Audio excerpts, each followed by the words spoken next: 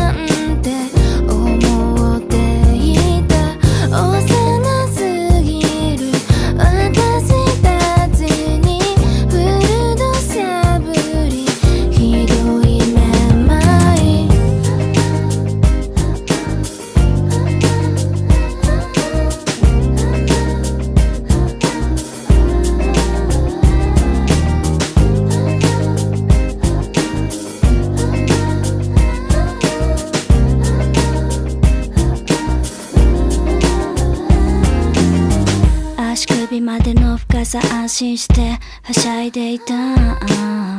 わかりやすい仕草でいつも可愛いふりをしていた。泡になって消えようとありったけの熱量で君を見たこと。そんなのに限って簡単には。バレないんだもんな。いつまでたっても譲れなかった自分の物差し。退屈になっちゃって二人して投げたサーチトークトーク